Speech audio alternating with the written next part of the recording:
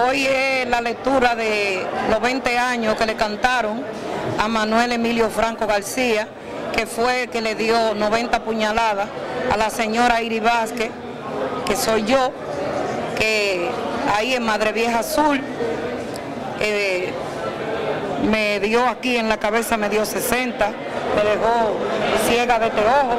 En este lado tengo una parálisis facial completamente. Entonces, pues le cantaron 20 años. A las 12 la lectura de, la confirmación de los 20 años que le dieron. No, no estoy satisfecha con la condena porque yo pienso que él merecía 30, eh, porque fue dos intentos de homicidio que él hizo. él me violó, él me dejó por muerta.